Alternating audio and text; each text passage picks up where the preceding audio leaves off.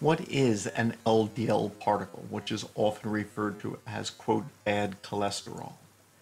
It is a lipoprotein, a low density lipoprotein, in which there is a single molecule of apolipoprotein B100, which serves as a major protein in this particle.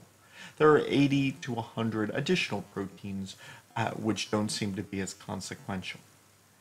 There is a range of about 3,000 to 6,000 lipid molecules in an LDL particle, including about 1,500 cholesterol molecules.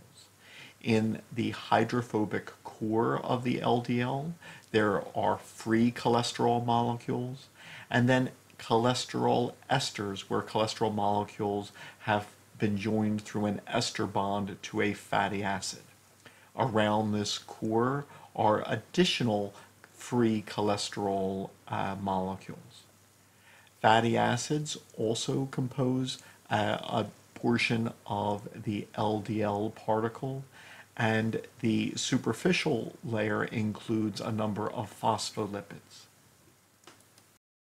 LDL particles can be converted into oxidized LDL particles, in which cholesterol molecules fatty acids, and proteins are oxidized.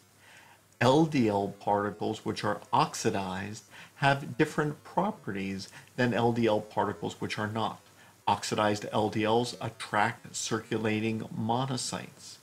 Oxidized LDLs make macrophages more likely to remain in the vessel wall rather than leave. Oxidized LDLs are taken up more quickly into macrophages because they utilize different receptors, the macrophage scavenger receptors. Oxidized LDLs can even change gene expression within the macrophage.